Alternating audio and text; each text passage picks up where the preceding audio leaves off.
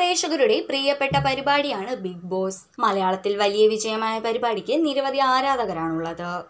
മികച്ച പ്രേക്ഷക സ്വീകാര്യത നേടിയ സീസൺ ആയിരുന്നു Bigg Boss Malayalam season three. ഡിംബലിന്റെ അടുത്ത സുഹൃത്തായിരുന്നു മണിക്കുട്ടൻ. ഇവരുടെ കോംബോ പ്രേക്ഷകരുടെ ഇടയിൽ വലിയ ചർച്ചയായിരുന്നു. പരസ്പരം പിന്തുണച്ചാണ് ഇരുവരും ബിഗ് ബോസ് ഹൗസിൽ നിന്നത്. അച്ഛന്റെ വിയോഗത്തെ തുടർന്ന് ഡിംബൽ ഷോ വിട്ടപ്പോൾ ഏറ്റവും കൂടുതൽ സങ്കടപ്പെട്ടതും തിരികെ മടങ്ങി വരണമെന്ന് ആഗ്രഹിച്ചതും മണിക്കുട്ടനായിരുന്നു. ഇവരുടെ സൗഹൃദം ബിഗ് ബോസ് ഹൗസിനകത്തും പുറത്തും ഒരുപോലെ ചർച്ചയായിരുന്നു. താരങ്ങളുടെ പേരിൽ നിരവധി ഫാൻസ് പേജുകളാണ് സോഷ്യൽ മീഡിയയിലുള്ളത്. ഇപ്പോൾ ദാ പ്രേക്ഷകരെ ഏറെ ആശയക്കുഴപ്പത്തിലാക്കുന്ന റിപ്പോർട്ടാണ് പുറത്ത് പ്രചരിക്കുന്നത്.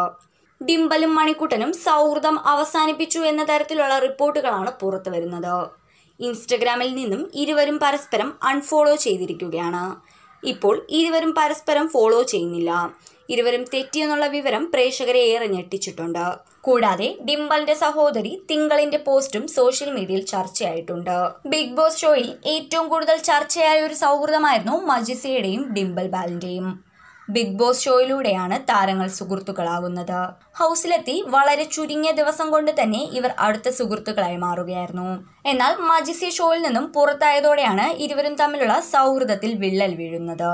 തുടക്കത്തിൽ ഡിംബലിനെ പിന്തുണച്ച് മജിസിയ സോഷ്യൽ മീഡിയയിലെത്തിയിരുന്നു. പിന്നീട് ഇൻസ്റ്റഗ്രാമിൽ നിന്നും ഒഴിവാകുകയായിരുന്നു. മജിസി എത്തിയതിനെതിരെ ഡിംബലിന്റെ സഹോദരി തിങ്കളും രംഗത്തെത്തിയിരുന്നു.